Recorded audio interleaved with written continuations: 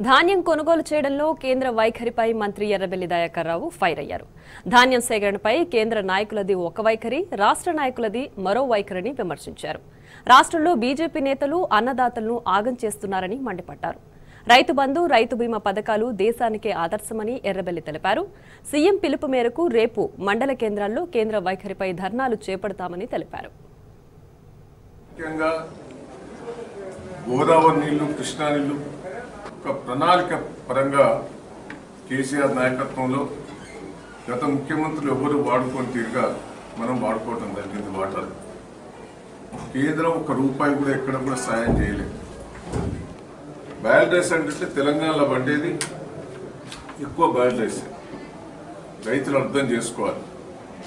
మార్చి తర్వాత పంట వస్తుంది. మనకి ఏప్రిల్లో వస్తుంది. ఫిబ్రవరి మార్చ్ ఏప్రిల్ మేలు వస్తుంది యాషింగ్. యాషింగ్లో పండేది ఎండాకాలంలో వచ్చేదంతా నూకే. అదంతా బాయిల్ రైస్ అవుతుంది ఆ రైస్ కొనమంటారు. మీరు క్లియర్గా ఎన్ని కొర్రీలు పెట్టుకుంటాం? రాష్ట్ర నాయకత్వం బీజేపీ నాయకత్వం కొంటా ఉంటారు కేంద్ర ప్రభుత్వం మేము బయలు రైస్ కొంటాం కొనమంటారు. ఎంత కొంటాం అనేది క్లారిటీ ఇయ్యదు.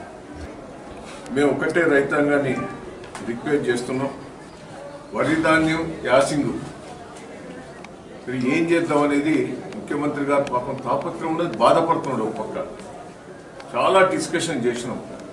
కానీ మీ ఇష్టం మీరు వేసుకుంటే వేసుకోండి కానీ మన ఎఫ్సిఏ సెంటర్లు వాళ్ళు కేంద్రం ఏదైతే ఉందో ఆ సెంటర్లు పెట్టే పరిస్థితి లేదు. అందుకని రైతాంగం ఆలోచించమని మా రిక్వెస్ట్ చేస్తున్నాం. నేను బీజేపీ వాళ్ళకు కూడా చెప్తున్నాను ఇక నుంచి పిచ్చి పిచ్చి మాటలు ఎక్కడన్నా మాట్లాడితే రైతులే ఉరికిచ్చే పరిస్థితి వస్తుంది. రైతులను రెచ్చగొట్టాలని ప్రయత్నం చేస్తే మా కార్యకర్తలు కూడా ఊరుకోరు కార్యకర్తలే కాదు ప్రజలు కూడా ఊరుకోరు